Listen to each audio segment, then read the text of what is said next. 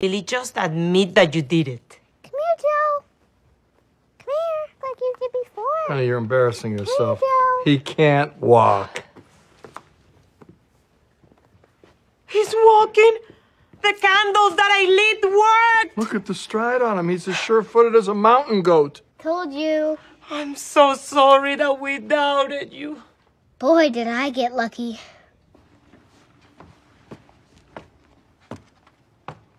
I'm going to blame everything on him until he learns how to talk.